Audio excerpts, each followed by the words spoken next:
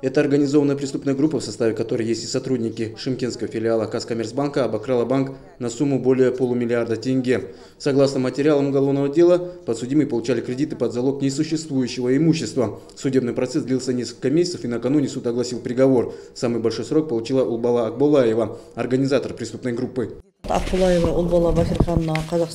Приговором суда Акбалаевой было назначено наказание в виде лишения свободы сроком 6 лет и 6 месяцев. Абдилнасир Керимбаев получил 4,5 года, Марина Брудян – 4 года, Лариса Садыкова – 3,5 года. Сотрудники банка Байзак Байкасымов приговорен к 5 годам, Константин Воеводин и Шемирхан Нарбаев к 4,5 годам лишения свободы с конфискацией имущества. Также им запрещено заниматься деятельностью в банковской сфере.